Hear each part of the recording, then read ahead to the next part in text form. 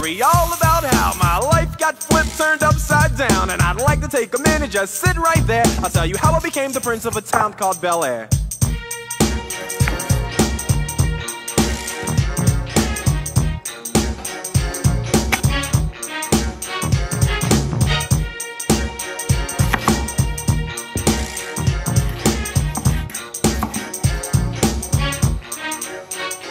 In West Philadelphia, born and raised is where I spend most of my days.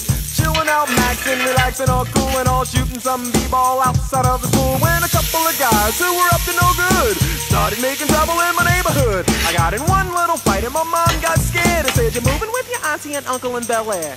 I begged and pleaded with her day after day, but she packed my suitcase and sent me on my way. She gave me a kiss and then she gave me my ticket. I put my Walkman on and said I might as well kick it. First class, yo, this is bad. Drinking orange juice out of a champagne glass. Is this what the people of Bel Air living like? Hmm, this might be alright. But wait, I hear the prissy, bourgeois, and all that. Is this the type of place that they just send this cool cat?